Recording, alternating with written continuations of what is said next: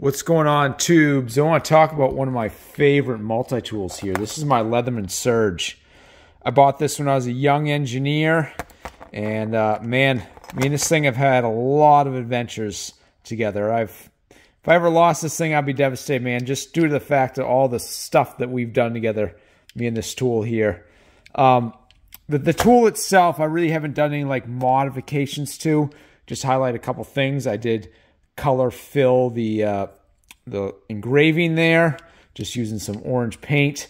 And then I did have my last name engraved on it, so it won't get mixed up with uh, anyone else's. But uh, yeah, super solid tool. Absolutely love that thing. And then I just purchased this uh, little addition. So you can buy these tool um, little tool bits here, and it comes in these two little holders. But buy this little link system from this guy I got off of Etsy. I'll, I'll give you his contacts here in a second. And he also sells, check this out, this little decal kit. So you can tell at a glance what you have, because sometimes it's it's it's a little bit difficult to see, you know, going back and forth. These they narrow these things up, so you, you, at a glance you can't really tell, but now you can. I mean, how how nifty is that? And it's super cheap. You get them off Etsy. It's from this Mountain Man guy. Um, it, it, they do come from Australia, so it takes about three weeks to get here. But you know, cheap. It's like it was like ten bucks for that little sticker row and, and those links too. Uh. The links were I I can't remember, but it was like under twenty dollars for it all. Uh, I got the the bit holder too. That that works great. Nice thing to have. And then another thing I've discovered is the the blades can be interchanged with a standard Sawzall blade.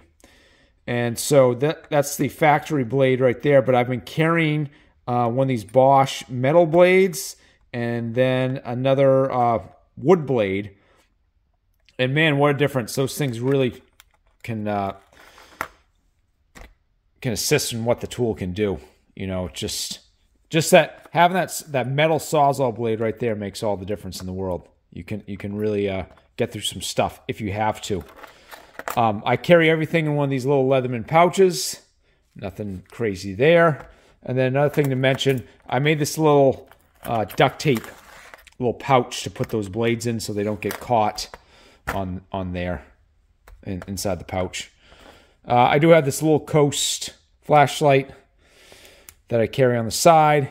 And there's plenty other little accessories you can put on there. Uh, you know, little markers and pens and so forth. But yeah, like I said, this tool is amazing. I go everywhere with it. Been on so many different adventures in all over the United States and other countries and and so forth. Just do not carry it in your TSA bag because they will take that. That's why I see so many of them for sale on eBay. But anyways, enjoy everyone. You some.